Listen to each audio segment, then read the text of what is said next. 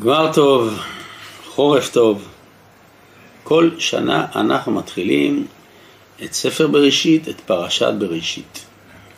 הרמב"ם בתחילת הלכות יסודי התורה אומר שמי שרוצה באמת להכיר את הקדוש ברוך הוא, צריך להסתכל על הבריאה ולומר מה רבו מעשיך השם, ומתוך זה להכיר את קונו.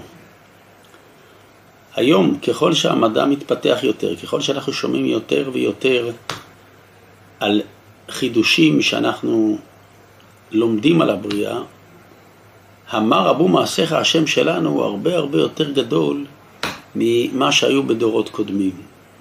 אנחנו היום מסוגלים להגיע לדברים שהם פשוט לא ידעו ולא הכירו.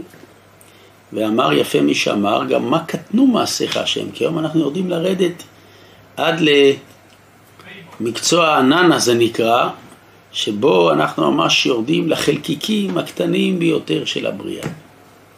אבל רק להסתכל על הבריאה בלי שיש לאדם גם אמונה שנובעת מתוך מסורת, מתוך לימוד תורה, מתברר שיש הרבה מדענים שיודעים אה, לומר שזה בסך הכל חוקי טבע.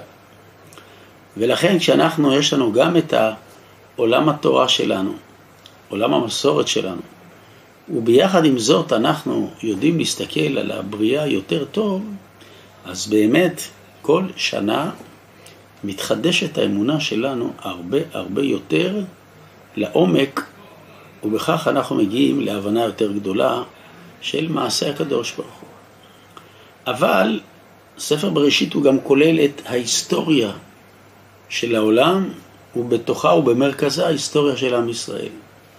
כפי שהרמב"ן אומר בתחילה, שבשביל זה בעצם נכתב ספר בראשית, כדי שנראה את יד השם בעולם. כלומר, לא רק הבריאה, אלא גם ההיסטוריה.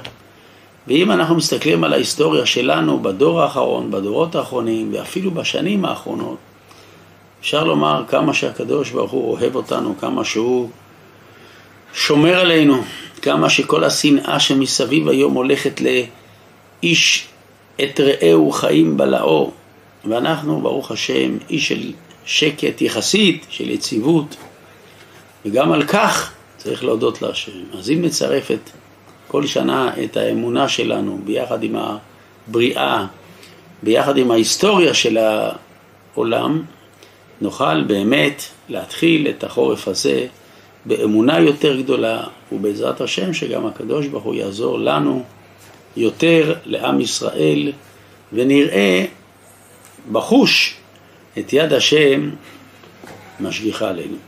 שבת, שלום וכל טוב.